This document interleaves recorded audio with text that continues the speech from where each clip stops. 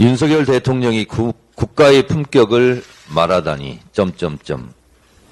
윤석열 대통령은 어제 현충일 추념사에서 국가의 품격은 국가가 누구를 어떻게 기억하느냐에 달려 있다고 말했습니다.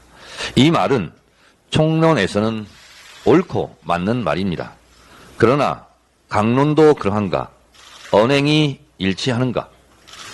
조폭도 착하게 살자고 문신하고 다닙니다. 한마디로 국가 정체성과도 연결되어 있는 말인데 국가의 중요 구성 요소인 국민들의 생각은 다양합니다. 그래서 전체 국민들이 합의해서 정한 것이 헌법입니다. 국민 모두가 지켜야 할 대국민 합의문이 헌법이라고 생각합니다. 대통령도 취임 선서에서 헌법 준수를 맨 먼저 말합니다. 헌법 130개 조항 중 압축 요약한 헌법 전문은 3.1운동으로 건립된 대한민국 임시정부의 법통과 불이한가한 4.19 민주 이념을 계승하고 이렇게 되어 있습니다. 대한민국의 뿌리로 정하고 있습니다. 독립운동과 민주주의가 헌법 정신의 시작입니다.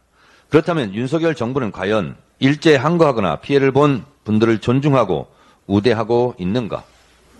일제치하 강제동원 피해자에 대한 국내 법원 판결조차 뒤엎고 위안부 문제는 입을 꾹 닫고 일본의 역사학에 와서 왜곡에 대해서는 나몰라라 하고 일본의 독도 야옥에 대해서도 항의도 하지 않고 후쿠시마 핵 오염수에 대해서는 오히려 일본 대변인 같은 태도로 국민들의 분노를 유발하고 있습니다.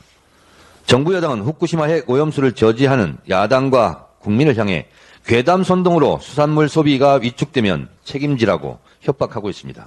이는 마치 독립운동하면 주변 인사들이 일제로부터 탄압을 받으니 독립운동하지 말라는 친일 앞잡이들의 논리와 유사합니다. 강도 신고하면 보복당할지 모르니 강도 신고하지 말라는 논리와 무엇이 다르겠습니까? 국가의 품격은 국가가 누구의 이익을 대변하는가, 누구의 편에 서고 누구를 존중할 것인가, 바로 이 점입니다.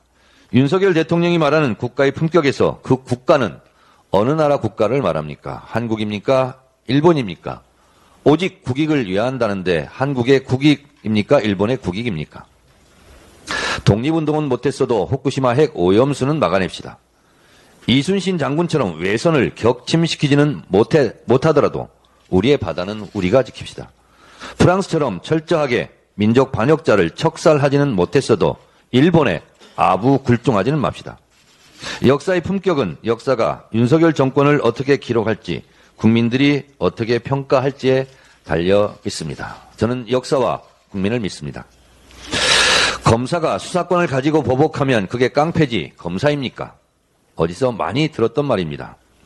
바이든 날리면을 보도했던 MBC 기자의 속옷까지 압수수색하고 한동훈 장관을 추적하던 더 탐사에 대한 압수수색 그리고 최강욱 의원에 대한 압수수색 참으로 공교롭습니다. 현 정권과 각을 세웠던 사람들에 대한 무차별적인 압수수색이 횡행합니다. 이게 과연 우연의 일치인가? 필연은 우연의 옷을 입고 나타난다고 합니다.